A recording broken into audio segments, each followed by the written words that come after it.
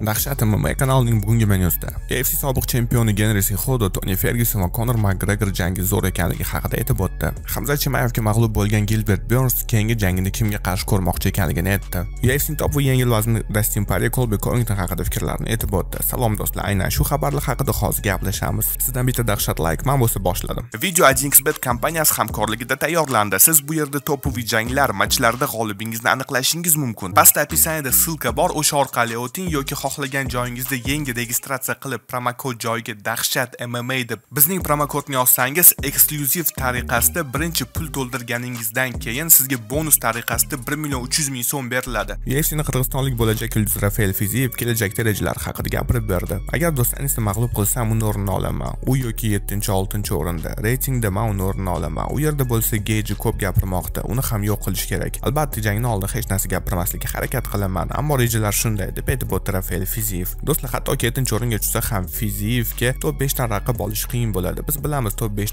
hammasi top 10 ga imkoniyat bergilari kelmaydi, ya'ni yosh avlodga, ammo bunday jangchilar ham bo'ladi. Shu sababdan eng yaxshi ssenariyni kutib qolamiz do'stlar.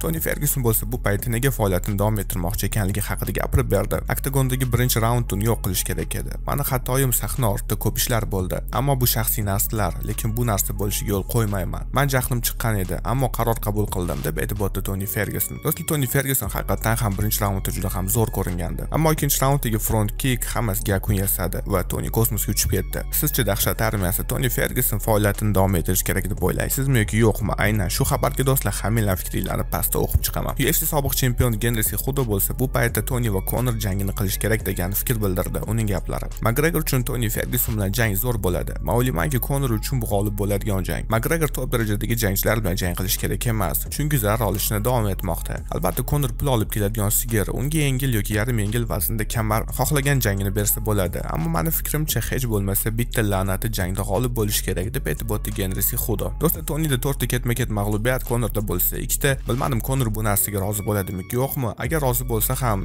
don seroniga o'xshab agar konor tonini mag'lub qilsa yana qariyani urdi degan gaplar ko'payadi. Ammo qaytish uchun yaxshi narsa bo'ladi. Ochiqchasi gapiramiz toni fergusonni konor makgregor katta ehtimol bilan yutsa kerak. Hamza chimayevga mag'lub bo'lgan gilbert berns bo'lsa keyingi jangni kimga qarshi qilmoqchi ekanligi haqida aytib o'tdi. Man o'ylaymanki kolbi koington yoki xorxe maystel bilan jang ahamiyatga ega. Bu man xohlagan ikki jang. Agar kutishim kerak bo'lsa kutaman. Farqi yo'q. Bu menga muhim bo'lgan janglar. Man ularni xohlayman man shunchalik ko'p ishlaymanki va boshqa bolalarga jang beramanki ammo hozirgi vaziyatda hammasi boshqacharoq man bu ikki jangni xohlamoqdaman. Kolbi Covington va xorxe maysel ahamiyatga ega deb aytib o'tdi gilbert berns Jorge va Dastin Poirier hozirda birgalikda bitta zalda trenirovka qiladilar. Oldin Covington ham u yerda trenirovka qilgan, ammo Jorge bilan janjali uchun haydab yuborishgan. Dastin Poirier bu haqda o'zining fikrini aytib o'tdi. Kolbi aslida hammasi qanday bo'lganini biladi. Gapirishni yaxshi ko'radigan odam emasman. Shu sababdan bu narsani aniq qilib aytmayman. Ammo zalda ba'zi bir narsalar bo'lganini hamma biladi. Men inkor qilmayman, u meni patrga o'tkazgan payti, 1-2 raundlar u yerda ushlab turgan paytlar ham bo'lgan. Ammo bu ishni qilish o'xshamagandi, u nima bo'lganini biladi va bunday narsalar ko'p bo'lgan deb aytib o'tdi Dastin Dustin Poirier. va bu bilan o'zini Kolbi Covington bilan jangini